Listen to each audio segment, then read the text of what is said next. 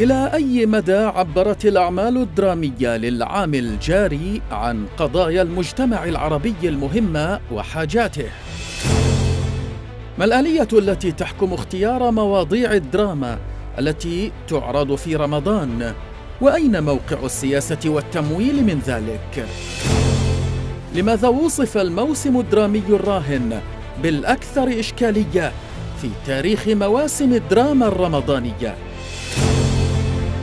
هذه المحاور تأتيكم في برنامج حديث العرب بعنوان دراما رمضان 2023 ملهاة في زمن المأساة.